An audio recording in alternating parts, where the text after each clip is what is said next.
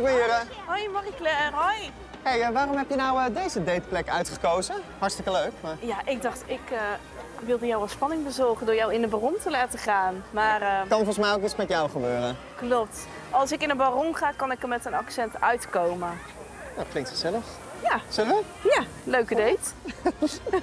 Heb je al zin in een frietje? Nee.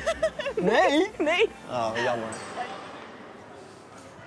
De middelste, denk ik. Hoe staat het nu met de spanning? Eh, het gaat wel echt... eh, Ik merk dat het wel begint. eh, Want wat wordt een beetje je eerste accent? Vlaams, maar ook slechter die woorden kunnen, ehm, eh, kunnen vinden. Maar ik merk dat je dat nu wel al een beetje hebt, toch? Ja, Het klinkt al een beetje Vlaams. ja. En komt dat door de spanning eigenlijk nu al van, van hier komen? Ja, door de spanning ehm, inderdaad vanaf het wachten tot hier nou in die attractie en omhoog. En ja, Oké. Nou, dan gaan we een Vlaams rondje doen. ja Ja. er is Zal ik dan ook Vlaams gaan praten, hè? Je kunt het wel goed imiteren. Ja. Wat ik dan altijd doe in een achtbaan is... Dan gaan we. Ja.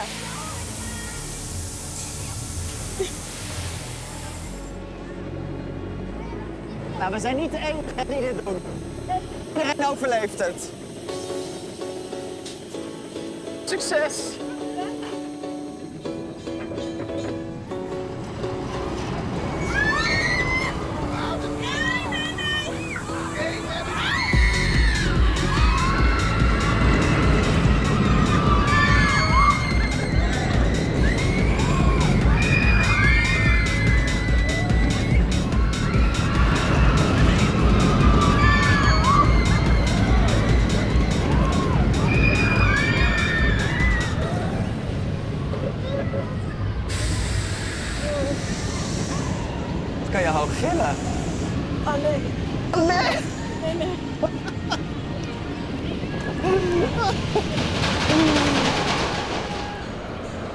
Zo.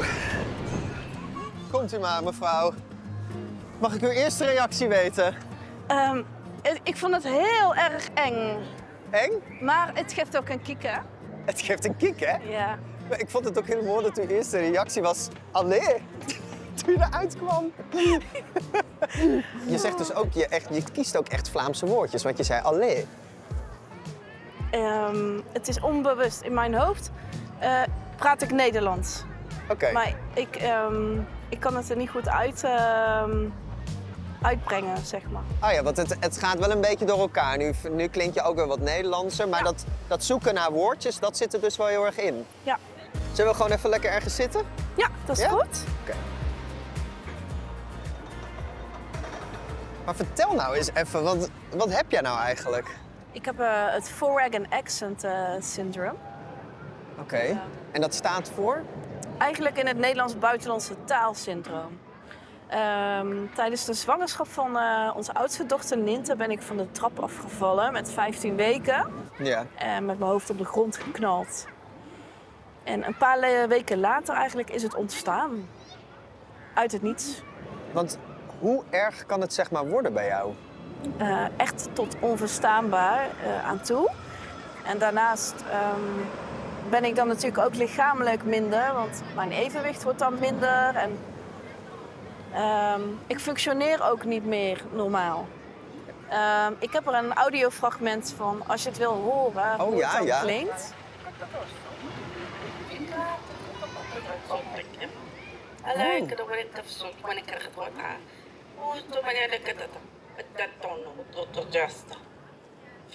Oh, maar dit is echt een soort van Russisch.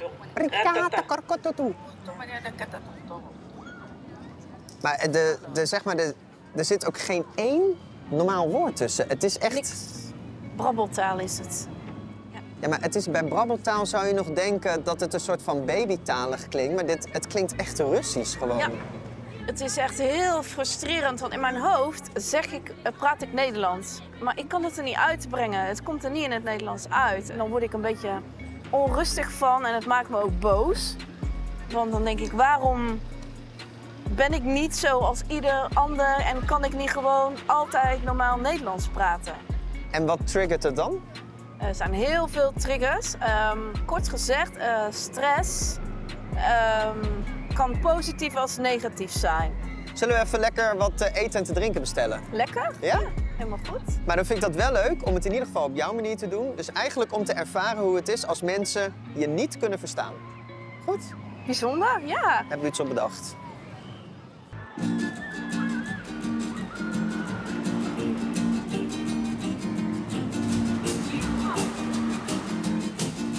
Oké. Het is natuurlijk geen accent. Maar misschien kunnen mensen mij hier wel lastiger mee verstaan.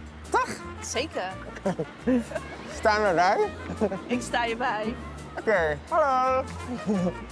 Eh, ja, wat hebben jullie allemaal? We hebben muffins, cupcakes, softijsjes. Ja, wat wil jij? Uh, is wel lekker. Je dat zitten? Sorry? Je dat zitten? Spikkels, deze? Nee? Oh ja, zitten. Ja. Eh, en hebben jullie visueel? Sorry? Wat zei je? Hebben jullie? Dat is, sorry, ik verstond het niet helaas. Visueel. Alsjeblieft. Nee? Frikandel? Ja. Ja. Oh. Hebben jullie visueel? Nee, helaas ook niet. Uh, Oké. Gaan we voor een ijsje gaan? Ja? Ja. Uh, en wil je wat te drinken? Lekker. Wat is het? Ijsthee of zo? Eén ijsje alsjeblieft. Ja? Uh, mij een, uh, een dubbele espresso. Een dubbele espresso? Ja. ja? Tien punten. Hoe was het zo weer? Ja. Gaat dat het? Ja. Ja. Dat... 11,50 alstublieft. Oké. Okay. Mag ik een bonnetje? Dat verstond ik helaas. Een bon bonnetje. Oh, het bonnetje. Ja, ja zeker. declareren natuurlijk. Alsjeblieft. Ja, dankjewel. Oké, okay. het is gelukt. Yes. En uw ijsjes, alstublieft. Ja, dankjewel. dankjewel. Nou, en dan zo. Zo. Oké.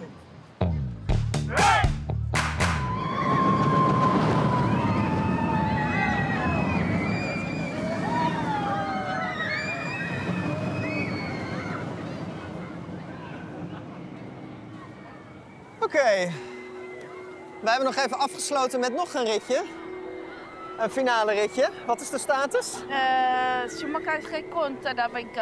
Kan somebody on kan conta. Geef me even een arm, want je staat ook helemaal te wankelen. Ja, nu kan ik je niet zo goed verstaan. Gelijk, Sumakan torta. Probeer je nu wel iets te zeggen?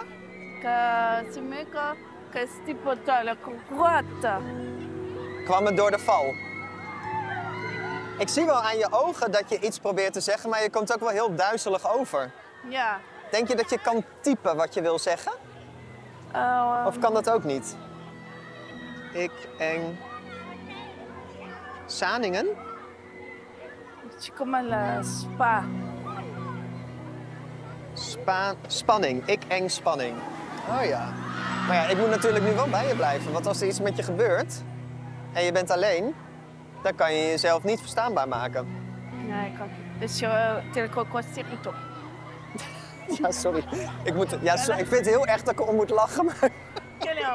Je probeert natuurlijk iets te zeggen, maar het klinkt echt als Russisch. Ja, dit is dan dus nu een beetje een gekke situatie, want jij wil allemaal dingen zeggen en dat, dat kan niet. Um, wat, wat zou je willen doen? Wil je een rondje lopen? Rondje lopen?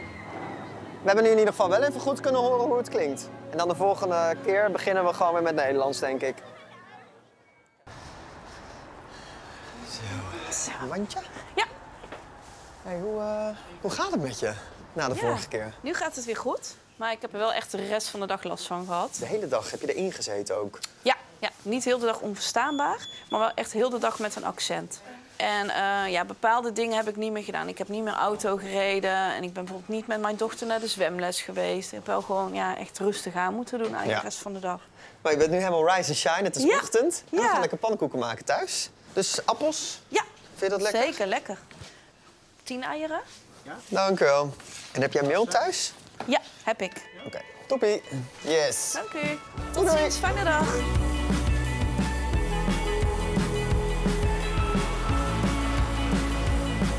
Zo. Leg eens uit wat er dan is gebeurd in je hoofd. Um, ik had eigenlijk de symptomen in eerste instantie van een zware hersenschudding. En ehm, op een gegeven moment, na een aantal weken, begon ik met een buitenlands accent te praten. Maar is dat dan echt een soort van gediagnosticeerd? Is het... Ja, ja het is eh, vastgesteld door eh, professor Peter Marien in eh, Antwerpen. Dat is eigenlijk een professor die erin is gespecialiseerd. Maar hoe reageren mensen op jou als jij helemaal zo onverstaanbaar praat? Ehm, ja, mensen kijken me soms heel raar aan. Of ze beginnen Engels tegen mij terug te praten, omdat ze denken dat ik eh, een ja, uit het buitenland kom. Ja. Maar denkt ook niet iedereen dat je ze voor de gek houdt? Ehm, ik durf het jou niet te zeggen, maar dat, dat, denk ik wel. Ja. Ja.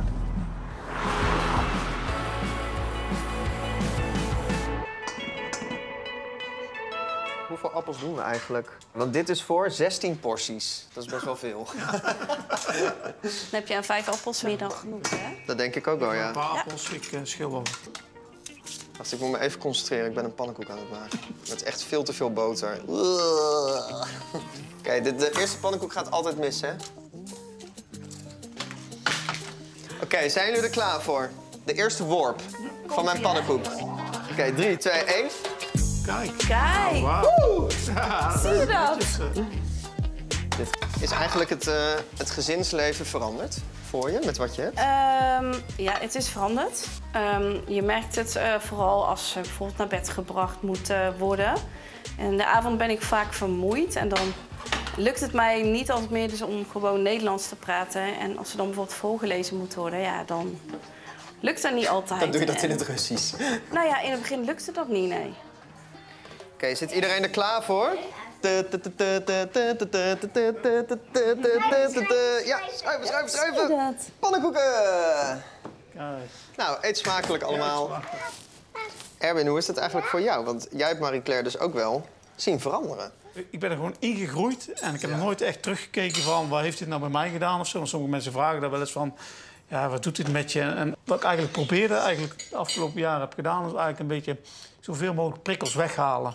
Ik probeer Ja. eigenlijk die klachten zo laag mogelijk te houden. En dan En lukt dat dan een beetje? het is meer een soort automatische piloot dat je gewoon continu dingen doet. Ja. Maar horen jullie soms mama wel eens raar praten? Ja. En wat doe je dan als mama zo gek gaat praten? Dan lach ik. Je moet erom lachen. het is natuurlijk ook wel een beetje grappig, toch? Maar, want het- prikkels is natuurlijk wel een dingetje. Ja. Komen jullie nog een beetje aan elkaar toe? als je een gezin hebt en als je kinderen hebt. Ehm, nou, we plannen eigenlijk wel eens bewust gewoon even dat we samen weg kunnen. Dus dat we even samen uit eten gaan. Of we gaan even lekker naar de bossen, even een stuk fietsen. En ook genieten van de dingen die nu zijn. En dat leer je eigenlijk eh, door, door dit alles door te maken. Dat je leert van de dingen die je nu hebt en die je elke dag mee mag maken. Van de meest simpele dingen. Dat je gewoon gezond en wel opstaat. Dan denk ik van ja, ik denk dat we ook gewoon dankbaar mogen zijn met de dingen die we hebben. En eh, op deze manier toch nog eh, heel veel dingen die ik ook gewoon wel kan doen. Dankjewel. Je zal